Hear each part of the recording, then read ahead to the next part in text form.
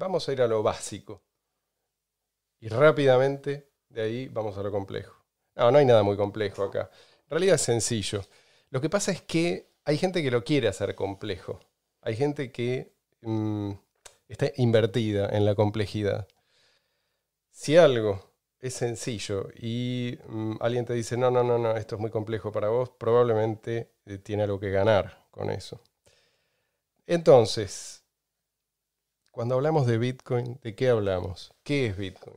A ver, cualquier persona, eh, incluso el que apenas tiene información, el que recién se entera. Yo, por ejemplo. Vos, contame, Leandro, ¿qué, qué entendés vos por Bitcoin? Yo digo, Bitcoin, ¿te suena? ¿Lo leíste alguna vez, no sé, en la tapa de un diario? Sí, eh, está el valor ahí. Es lo que importa, ¿no? El valor. Bueno, ¿el valor de qué? ¿Qué es? Bitcoin. ¿Te suena coin? Una moneda. Lo que importa es, el precio, no el valor. Una, una moneda digital. Moneda, digital. Punto. De persona a persona descentralizada. exactamente. Sin intermediarios, sin bancos. Bien. Mucho mejor Tú de lo eres tu propio banco. Efectivo. Qué lindo planteado desde ese lugar.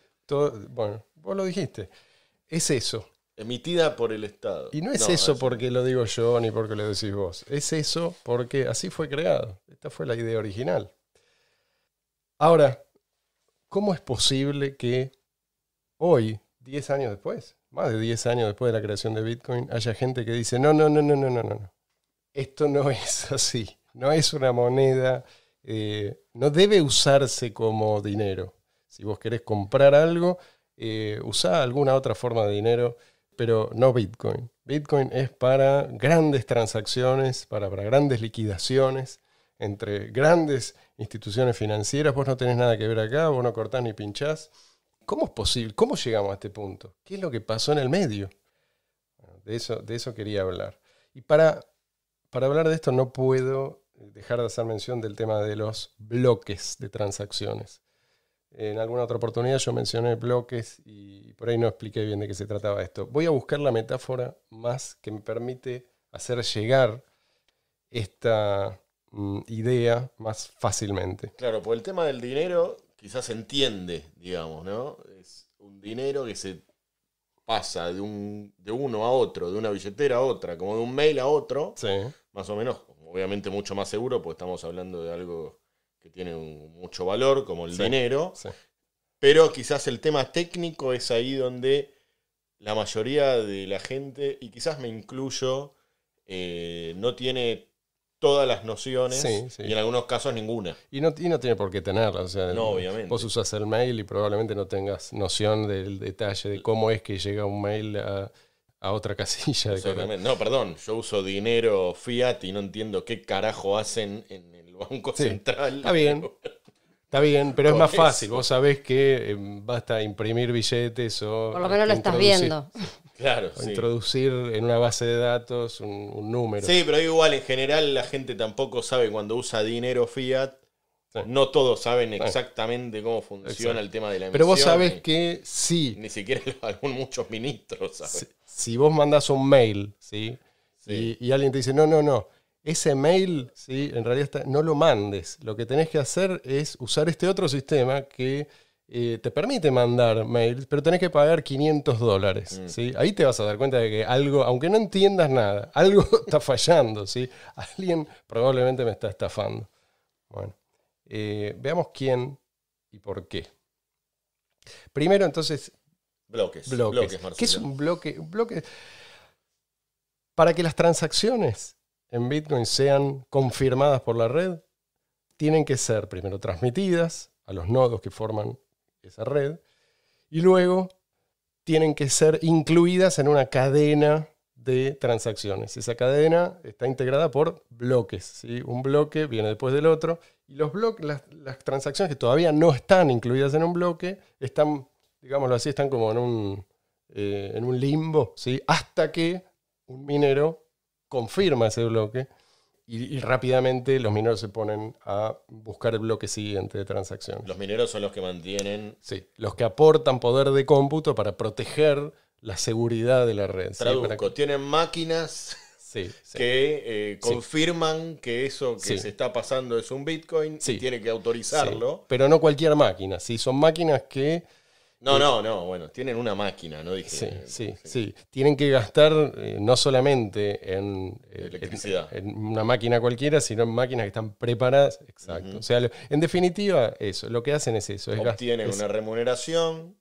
ya sea en bitcoins o en eh, fees, en, ¿no? en, tarifas. en el caso de Bitcoin, las, las tarifas son parte de esa recompensa, por otro lado está la recompensa por bloque hallado que va disminuyendo a la mitad cada aproximadamente cuatro años hasta desaparecer por completo. Y el que la tiene es cualquiera que la quiera tener y pueda tenerla.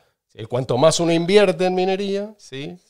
Eh, más probabilidades tiene de acceder a esa recompensa. Pero claro, cualquier persona la puede tener, esto es totalmente descentralizado Exactamente. y no depende de ningún ente central, por más que sea difícil de entender para algunos porque no se hace así habitualmente, por lo menos en, los últimos tiempos. Así es. Eh, es así el sistema. Lo que pasa es que la minería fue cambiando porque, o sea, al haber ahora, o sea, cada vez la necesidad de computadoras más veloces, entonces fue cambiando. Al principio se podía hacer minería con una computadora común, con una notebook, eh, y eso a medida que fue aumentando la competencia entre los mineros, fomentando también la dificultad, se fueron requiriendo equipos de, de mayor eh, capacidad, entonces se necesitaba más inversión y ya hubo eh, hardware, digamos, hubo aparatos que ya no sirvieron más para hacer minería. Y lo que hacían los mineros, lo, que terminaron haciendo fue unir, eh, unirse en pools de mineros para poder unir fuerzas y cada uno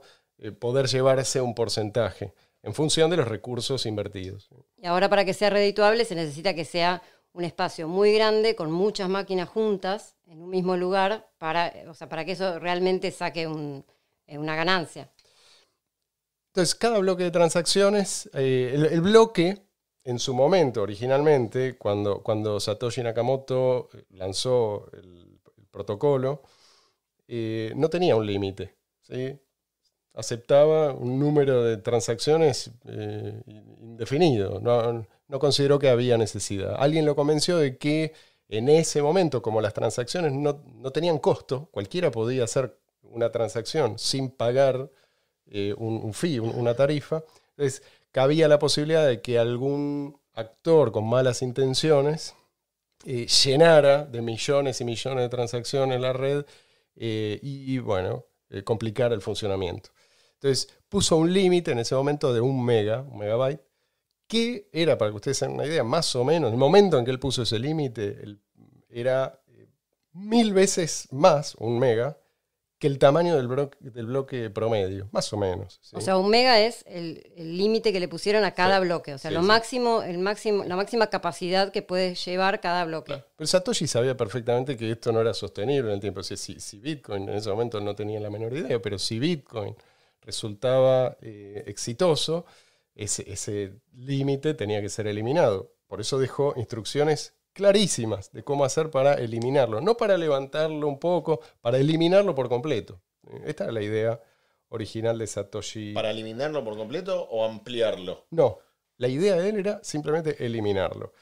Eh, es decir, que el límite a la escalabilidad mm, no fuera arbitrario, sino que fuera impuesto por los, propios límites de la tecnología en cada momento. ¿sí? Esta era la idea. Después Satoshi Nakamoto desapareció de la escena y dejó a Gavin Andreessen, eh, lo dejó a cargo. En ese momento no había, había un solo eh, programa que se podía descargar para usar Bitcoin. No había otras, otros monederos, no había otros, otros clientes que uno pudiera descargar alternativos era uno solo y había una sola persona que era la que decidía qué cambios se introducían y cambios no. Esto era una, dictadura. Satoshi Nakamoto era lo que hoy, hoy se conoce como un dictador benevolente. Después, bueno, le dejó las llaves, por así decir, a Gavin Andreessen, que era un tipo que había eh, empezado a contribuir a principios de 2010 y se ganó la confianza de Satoshi Nakamoto. Pero ¿qué pasa? Gavin no. Era un tipo que tenía una personalidad diferente a la de Satoshi. Era, un. Era, es. sigue vivo. Él em, no imaginó lo que iba a terminar sucediendo. Abrió unas puertas, por así decir, del repositorio de Bitcoin. No, quiso ser el único, él, el único, digamos, dueño de esas llaves y las repartió entre cuatro personas. Y en síntesis lo que pasó es que eh, entró un grupo de gente, esa gente fue comprada y lo expulsaron. Esto es en síntesis. Si quieren yo puedo pasar por algunos puntos históricos clave para entender cómo, cómo es que esto fue ocurriendo. No quiero hacerlo. El que, el que, arma la banda de rock y lo echan, más o menos. eh, sí, algo así. En realidad el que armó la banda de rock es Satoshi. Satoshi, no, bueno, pero, está bien. Pero sí, sí, Satoshi dejó a su, a su hombre de confianza y, y a él. príncipe heredero.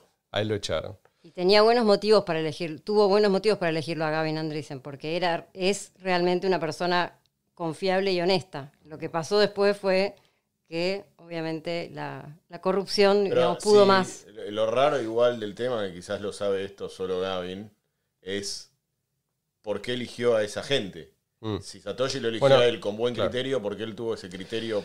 No, lo que pasa es que esta gente, esta gente ingresó haciendo contribuciones y después, esto es lo curioso y mucha gente no lo sabe, muchos de los que hoy en día son partidarios de mantener el bloque de transacciones en un megabyte, lo que implica que las tarifas tienen que subir, porque hay un número limitado de transacciones que pueden procesarse. Esta gente, esta misma gente, en su momento tenía la opinión contraria, pero 180 grados, ¿eh? opinaban exactamente lo contrario. Un día, fue porque fue así, prácticamente de un día para el otro, todos empezaron a opinar este disparate. Y bueno, esto coincidió con la aparición de Blockstream, que es una compañía que en el año, creo, si mal no recuerdo, en 2014, empezó a recaudar fondos, eh, fondos semilla, como le dicen. Estamos hablando de eh, aproximadamente 100 millones de dólares. Y con eso empezaron a comprar a todos los desarrolladores de Bitcoin Core, que era el, único mm, repositorio que en ese momento se usaba para introducir cambios en el protocolo. Así que esto fue algo para mí muy llamativo en ese momento. Eh, empezó a cambiar. Esto fue la clave, fue creo que fue el año 2014, cuando empezó el, troleo a gran escala, cuando empezó la campaña. En, en, los sitios, en todos los sitios donde la gente solía informarse, por ejemplo en Bitcoin Talk o en, o en Reddit, empezaron a prohibir cualquier discurso que no fuera, que no estuviera completamente alineado con el discurso oficial de Blockstream. Y, prohibir significa, o sea... Censura, censura, pero manifiesta. Radical, o sea, hasta de golpe uno podía hacer una pregunta que resultaba incómoda y lo echaban. ¿sí?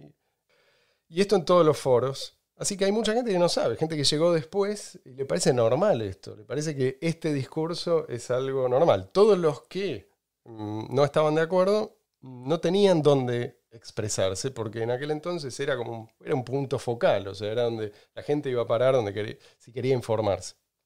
Bueno, lentamente esa gente luego fue pasando a integrar otros proyectos. Pero en ese momento eh, realmente lo lograron. Y, antes de esto, yo recuerdo, estábamos, no sé, 2011, 2012, 2013, muchos se preguntaban, ¿y cómo, cómo puede llegar a eh, fracasar este proyecto? Supongamos que empieza a funcionar y la gente lo empieza a adoptar. ¿Qué, y es curioso, pero que yo recuerde, nadie, a nadie se le ocurrió plantear un escenario como este, como lo que terminó ocurriendo. Ni siquiera lo, lo que terminaron haciendo. No, no. Entonces, mm, bueno, acá hay un dato también que recientemente cobró relevancia, el MIT. Después se descubrió que había financiado... MIT es el Instituto de Massachusetts de Tecnología había financiado a, estos mismos desarrolladores o a, varios de ellos.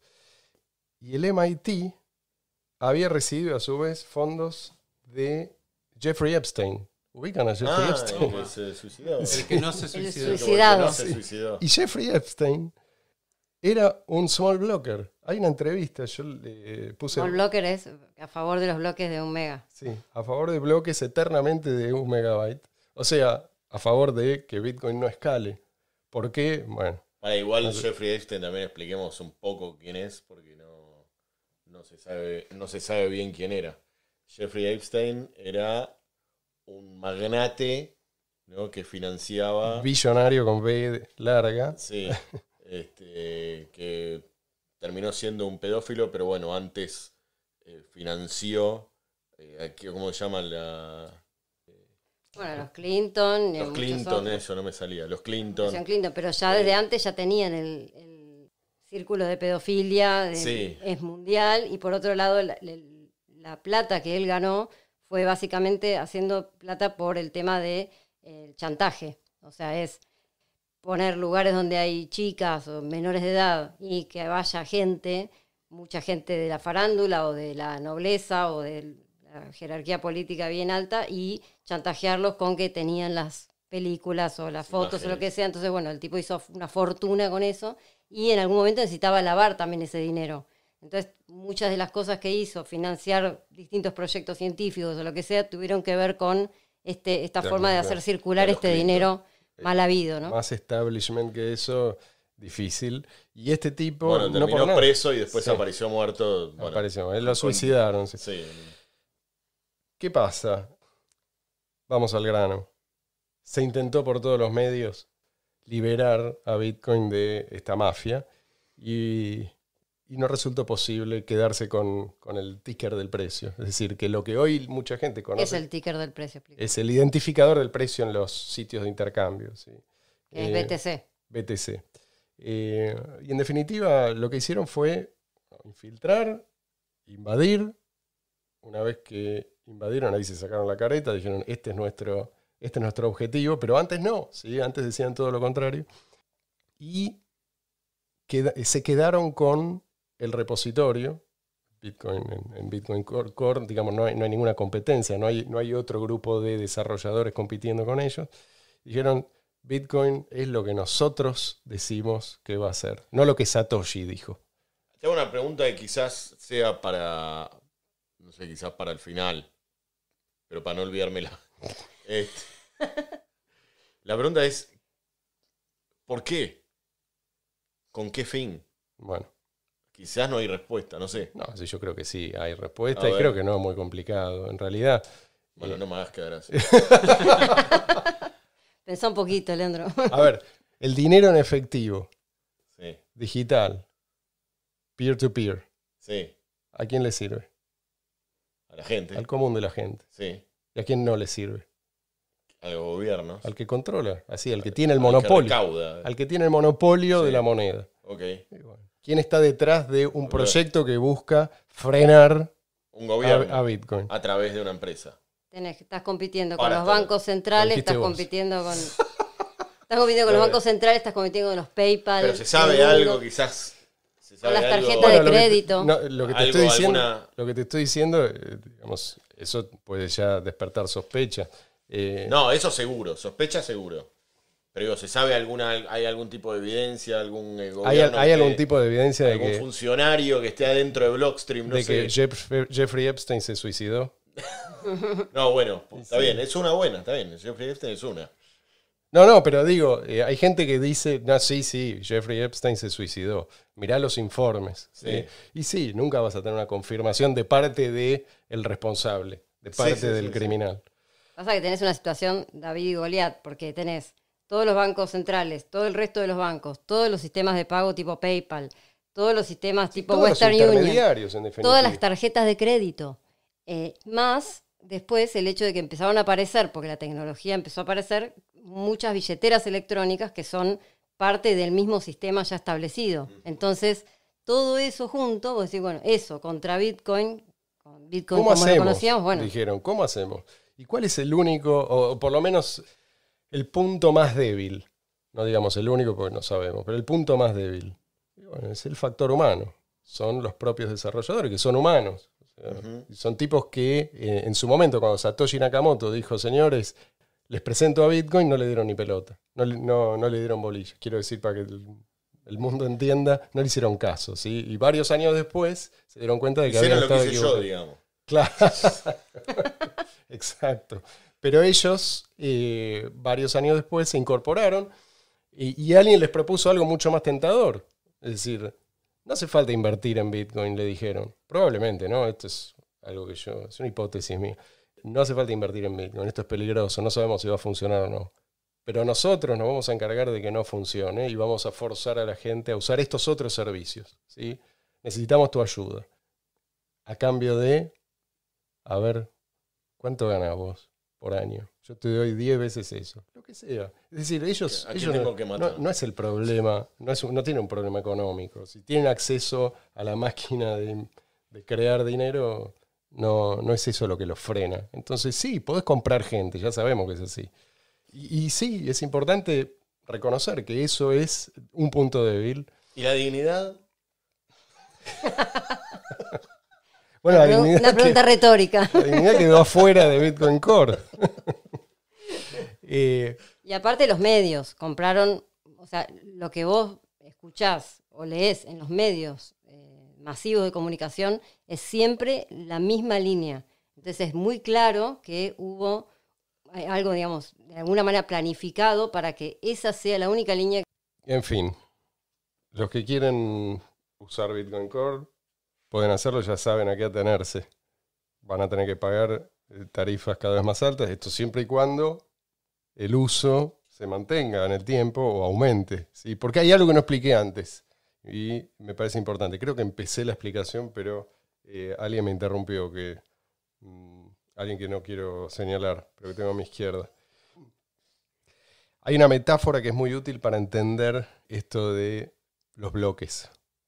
¿Por qué un bloque restringido artificialmente afecta el funcionamiento de la red?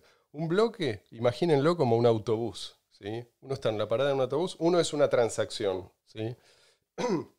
Las transacciones se van acumulando en la parada del autobús. Cada autobús que pasa es un bloque que se lleva determinado número de pasajeros que vienen a hacer las transacciones. Si ese bloque es demasiado pequeño, entonces van a quedar transacciones sin confirmar. Van a quedar personas esperando el autobús. Y si el, si el bloque es, tiene un tamaño lo suficientemente amplio como para llevarse a todo lo que están esperando, entonces nunca se va a esperar mucho más que el tiempo que demora en pasar el siguiente autobús. Esta es la diferencia entre Bitcoin Core, ¿sí? que, que mantiene restringido artificialmente el tamaño de los bloques con excusas que en este momento no vamos a mencionar, y Bitcoin Cash. Bitcoin Cash es simplemente el Bitcoin tal como lo creó Satoshi Nakamoto.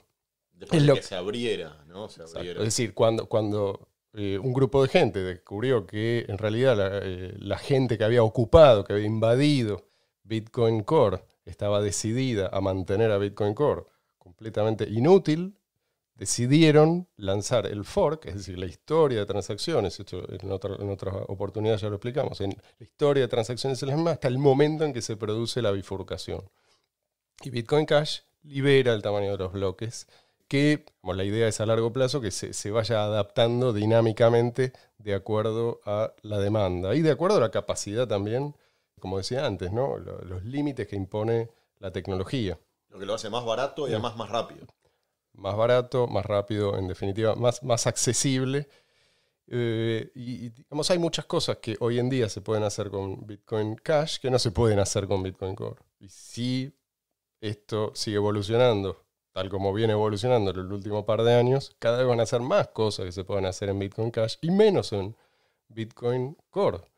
Mm, Así que lo que, lo que se puede, en realidad lo, que es hoy Bitcoin Cash no es más que lo que se consideraba en su momento de sentido común, lo que Satoshi Nakamoto ya había explicado, eh, pero con total claridad. casi nadie en 2010, 2011, 2012 tenía la posición que hoy en día es ortodoxa, por así decir. Bitcoin Cash es libre libre para qué? Para escalar, ¿qué quiere decir escalar? Seguir funcionando bien, pero a una escala mayor, con el objetivo de ser eventualmente adoptado por el mundo entero. Bitcoin Cash aspira a ser moneda universal. Y lo importante también es entender que, que si bien se quieren abrir un poco de Satoshi Nakamoto, mejorar, digamos, la idea de Satoshi Nakamoto, por supuesto que pueden hacerlo, de hecho lo están haciendo, pero bueno, es muy raro que justamente tengan esa crítica y llamen sectarios a los que siguen ese... Porque uno sigue esa idea más allá de la secta. uno sigue esa idea. No es una secta, sigue esa idea. Y si tiene otra idea, bueno, tiene que llamarla de otro modo. exacto. si tiene algo de dignidad. Iniciar eh, otro proyecto. Llamarlo de otra manera. Pero no, eso no es lo que han hecho. Y, no se atreven a alejarse del todo. Porque la actividad económica ya estaba en Bitcoin. fueron a donde ya había actividad económica. Como hace de red también. Exactamente, exactamente. Como hace cualquier invasor. Vos no, invadís un desierto, invadís un, país que tiene una economía funcional y que vos podés de alguna manera controlar o aprovechar